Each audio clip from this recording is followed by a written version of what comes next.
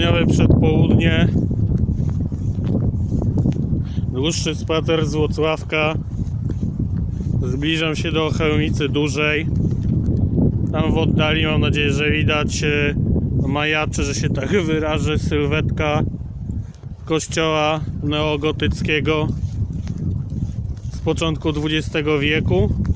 No i to jest taki główny charakterystyczny punkt tej miejscowości e, widziany z oddali. O drugim jest e, komin i zabudowania e, byłej e, cukrowni. Akurat ja idę na pieszo, tak jak mówiłem, idę e, bocznymi drogami mało tutaj uczęszczanymi. Można też dojechać e, drogą z Włocławka na Lipno lub e, odwrotnie, jak to woli.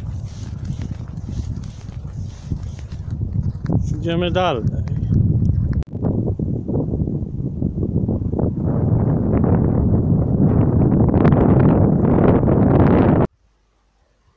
No doszedłem właśnie tutaj w okolice kościoła i tu jest e, ujęcie e, z dosyć ciekawej perspektywy. Oczywiście wszystko kręcone telefonem, ale warto się przejść dla zdrowia. No, kościół prezentuje się okazale. Jest to ładna konstrukcja. No jeżeli chodzi tutaj o parafię, no to e, początki parafii świętego Jakuba sięgają e, XVI wieku.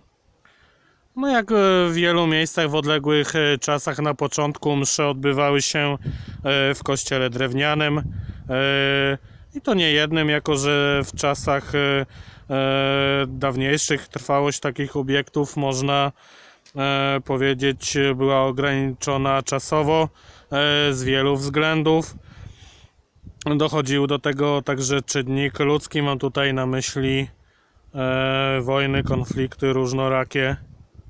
No, obecny kościół powstał w latach 1906-1917 i należy do grupy obiektów zaprojektowanych przez e, warszawskiego architekta.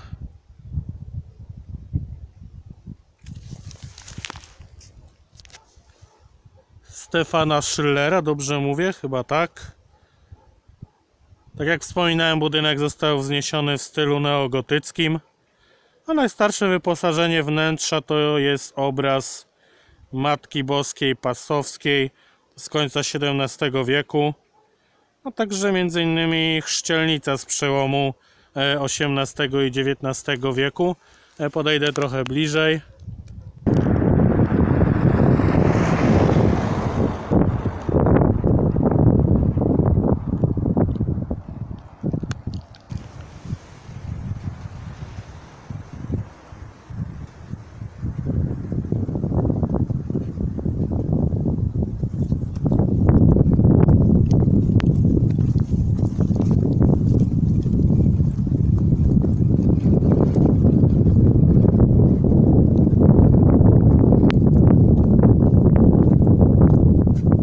Bo widać, że tutaj konstrukcja może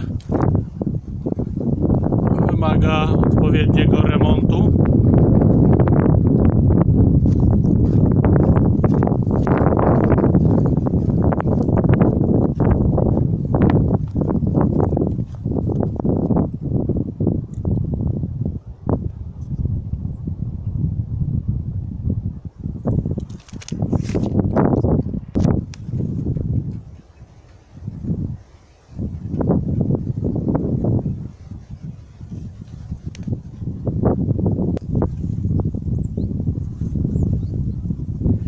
Nieopodal e, kościoła znajduje się właśnie takie miejsce.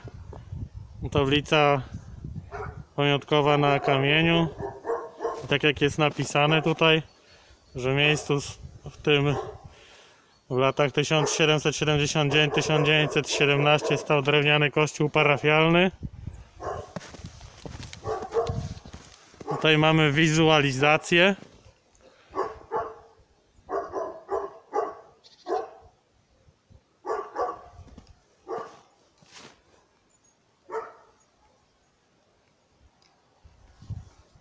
Lecę dalej.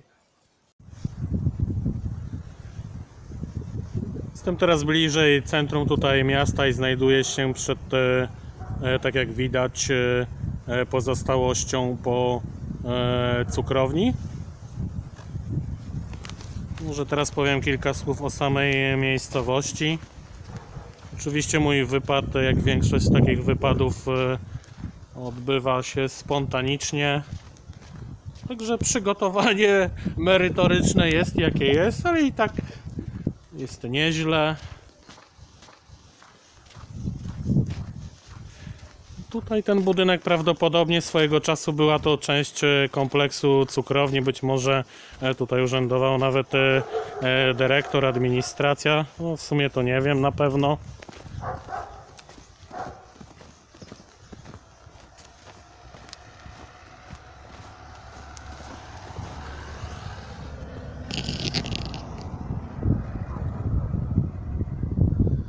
To wygląda.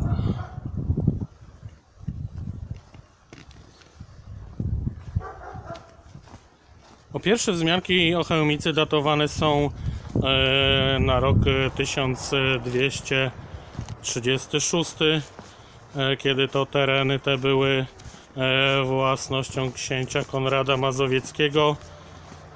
Wiązało się to z podziałem majątności dla potomstwa. Prawdopodobnie e, data ta e, wzięła się z zachowanego dokumentu, który wspominał z nazwy e, Chełmice. Później kolejny dokument to rok 1321 i tam chodziło o, o podział, wytyczenie nowych granic między diecezją płocką a włocławską. Tutaj mamy jezioro chełmińskie, nawet e, raz w życiu tutaj byłem sobie na rybach. E, Później pójdę tam w pobliże e, stadionu. Jest to nowo powstały, fajnie zrobiony obiekt. No, Trochę odbiegam od tematu, ale to jest mniej istotne.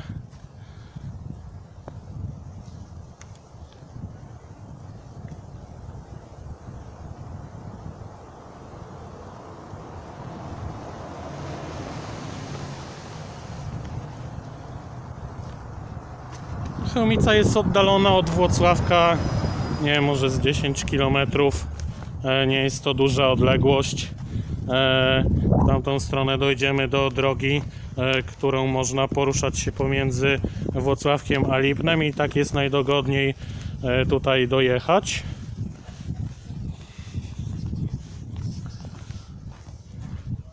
No Tutaj mamy fajny wystrój na przystanku. Nieźle. No co, jeszcze może parę słów, no to e, no ziemię, ziemia dobrzyńska była tutaj często odwiedzana przez e, e, panów ze znakiem Czarnego Krzyża na płaszczu, czyli krzyżaków. I tak przykładowo w 1329 e, roku została tutaj przez nich E, zajęta i praktycznie do początku XV wieku e, miejscowość kilka razy zmieniała właścicieli. No były to burzliwe e, i niespokojne czasy. Raz była w rękach polskich, później księcia Władysława Opolskiego, który zastawił ją krzyżakom. Dopiero traktat z 1400 E, 1904 roku, podpisany przez króla Władysława e, Jagiełło e, w Raciążku, który notabene był przez wiele wieków własnością biskupów włocławskich. Tam doszło do wykupienia e, ziemi dobrzyńskiej. Był to jeden e, z ważniejszych punktów e, tego traktatu, zapewne za dosyć sporą sumę. Nie chcę tutaj kłamać, może się mylę, nie wiem czy to nie chodziło o 50 tysięcy florenów bodajże. No to trzeba by sprawdzić. No co jeszcze? No mm, tutaj prawa nastąpiła prawa miejskie, czy tam wioska została założona na e, prawie niemieckim, e, magdeburskim bodajże. E, w wieku XVI wieś znalazła się w posiadaniu e, rodziny chełmickich. Jak nie trudno się domyśleć, e, dalej w kolejnych latach, e, e, wiekach zmieniała właścicieli. Byli to kolejno czerscy, rutkowscy, No i kolejne osoby, e, jak to bywało w przypadku e, e, mniejszych e, miejscowości, gdzie zawsze w okolicy e, usadowiły się e, rodziny szlacheckie, które były właścicielami e, dosyć sporych często posiadłości e, ziemskich.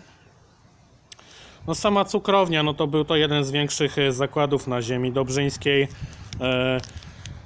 E, No całkiem niedaleko, e, bo to też jest w naszym regionie, tutaj w województwie kujawsko-pomorskim, znowu odbiegnę od tematu, znajduje się e, bardzo wielka cukrownia w Chełmży, która działa do dnia dzisiejszego. Swojego czasu była to jedna z największych w Europie konstrukcji tego typu. No teraz wracając tutaj do Chełmicy, no to fabryka ta dawała pracę okolicznym mieszkańcom, a także inicjowała różne e, działalności na niwie kulturalnej i społecznej. No zapewne wiele tutaj e, budynków, które dzisiaj są budynkami mieszkalnymi, e, być może w przeszłości były też budynkami mieszkalnymi, gdzie ludzie mieszkali na trochę innych zasadach i pracowali tutaj właśnie w tej cukrowni. Przejdę się tam kawałek trochę. Jak widać spadło dużo śniegu. Fajna zima. Została założona spółka akcyjna, która kierowała tą cukrownią w 1898 roku pod nazwą Cukrownia Chełmica. Towarzystwo e, akcyjne swoją siedziba, siedzibę miała e, w Warszawie.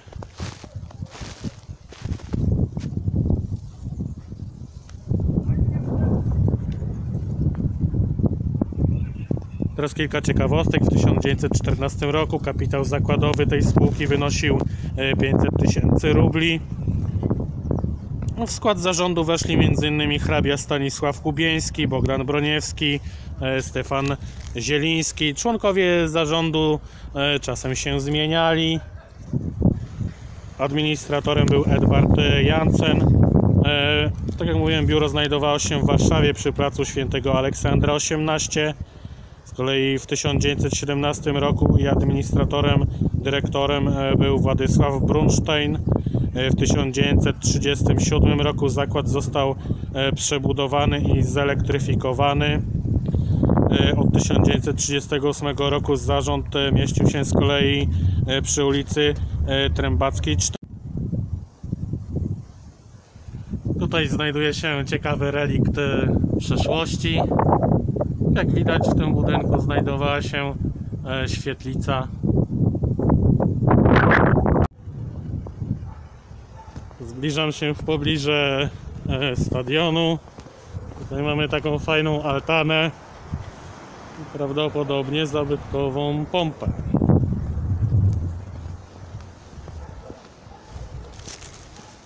No co tu można jeszcze ciekawego powiedzieć? No No ja tutaj na pewno jakoś e, działa gmina na szczeblu samorządowym, żeby poprawić e, e, jakość życia. I między innymi jednym z takich działań była budowa tutaj tego kompleksu.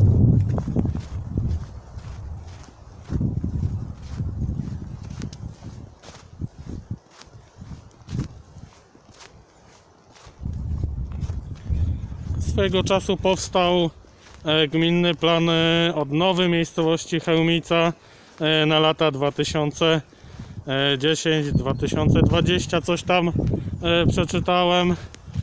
Korzyści jakie miała, czy też ma czerpać społeczność lokalna, to między innymi możliwość korzystania z różnych funduszy,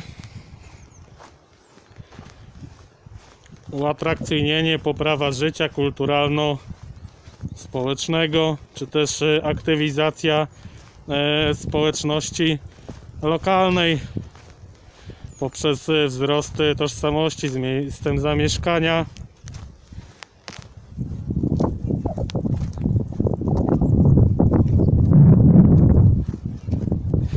Ten stadion, do którego się zbliżam, został tutaj chyba przebudowany e,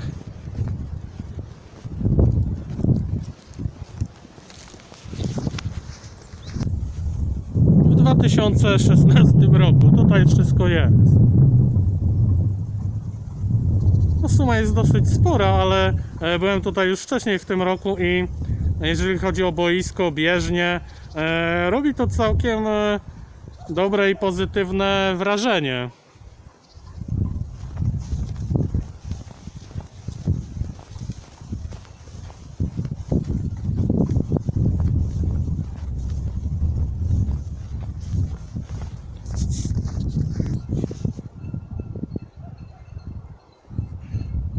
To wygląda, za dużo nie widać, bo wiadomo, nawaliło śniegu. No, stadion położony jest e, nad jeziorem. No, Tutaj mamy jedną z wielu siłowni napowietrznych, które tak e, e, w ostatnim czasie są często budowane. No, samo- Samorządy czy tam władze lokalne często, no, że tak powiem, chwalą się że i- inwestują w takie konstrukcje. Tylko pytanie jest takie, czy tak naprawdę ludzie z tego mocno korzystają. Może warto by właśnie ich e, nakłonić do e, tego, żeby korzystali z takich e, e, urządzeń, bo e, w sumie no, odbywając w tym roku jakieś podróże piesze czy rowerowe tutaj po okolicy, województwie, to w sumie nigdy nie widziałem, żeby ktoś z tych urządzeń korzystał. Nie mówię teraz o tym czasie zimowym, ale w czasie e, odpowiednim, chociaż są zapaleńcy e, sportów, którzy nawet e, w takim czasie biegają, chodzą, czy też korzystają z takich urządzeń. Tutaj mamy kolejną inwestycję.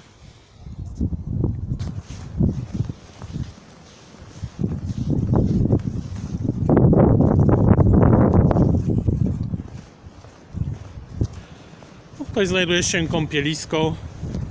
Jest fajnie zrobiona plaża. Tutaj chyba jest e, przebieralnia nawet. Mamy cały czas po prawej.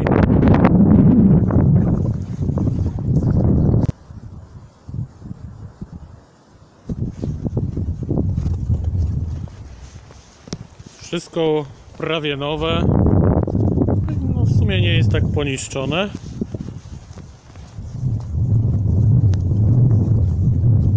Tam jest jezioro.